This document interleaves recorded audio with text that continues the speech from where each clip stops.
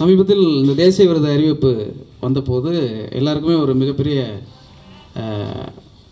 ஆனந்தம் கிடைக்கும் அப்படின்னு நினைக்கும்போது எல்லாருக்கும் ஒரு அதிர்ச்சி கிடைச்சது. ஏன்னா தமிழ் படங்கள் முக்கியமாக பிரதிநிதித்துவப்படுத்தப்படவில்லை அப்படிங்கிற ஒரு செய்தி நேற்று வசந்தபாலன் கூட அந்த கருத்தை பற்றி சொல்லியிருக்கிறாரு. எல்லாரும் சொல்லணும். நம்ம வந்து கிருஷ்ணன் அர்ஜுனரை பற்றி பேசிக்கொண்டு இருக்காமல் தமிழ் திரையுலகத்திற்கு ஏதாவது நல்லது நடக்க வேண்டும் என்பதற்காக முக்கியமான நடிகர்கள் முக்கியமான கலைஞர்கள் தமிழ் திரையை காப்பதாக அல்லது காக்க வேண்டும் என்று ஆசைப்படுகிற எல்லோரும் இது குறித்து பேச வேண்டும் நான் விரும்புகிறேன் அது குறித்து தான் நானும் சொன்னேன்.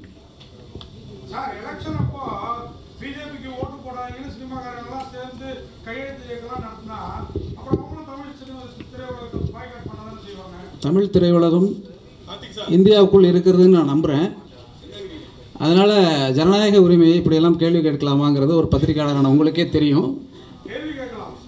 இதுக்கான பதில் உங்களுக்கே தெரியுங்கிறத நான் சொல்ல வரேன்.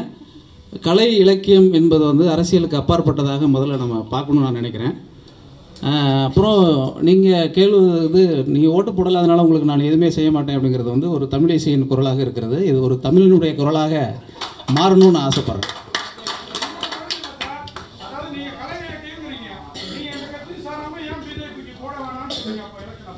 நீங்க அந்த சேர்ந்து பண்ணாங்கல்ல?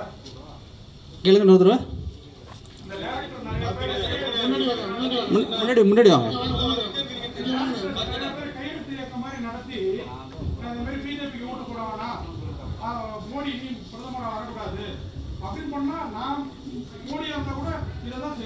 ரைட்டு அப்போ தமிழ் திரையுலகத்திலிருந்து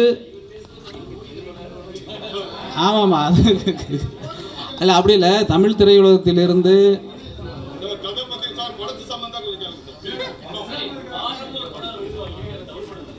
என்னங்க?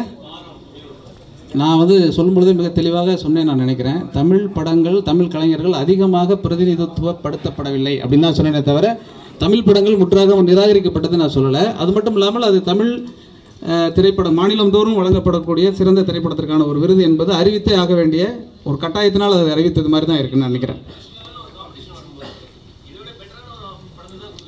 இல்லை சென்ற ஆண்டில்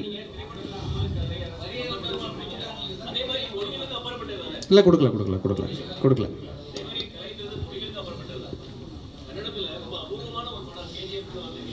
சார் கன்னிராசியை பத்தி இல்லை இல்லை நான் எனக்கு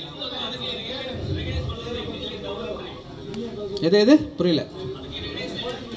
இல்லை அப்படி இல்லைங்க. தமிழ் திரைப்படங்கள் தமிழ் திரைப்பட கலைஞர்கள் அதிகமாக பிரதிநிதித்துவப்படுத்தப்படவில்லை அப்படின்னா தமிழுக்கு இன்னும் கொஞ்சம் கூடுதலாக வழங்கியிருக்கலாங்கிறது தான் அர்த்தமே தவிர தமிழுக்கு வழங்கவே இல்லைங்கிறது அர்த்தமல்ல.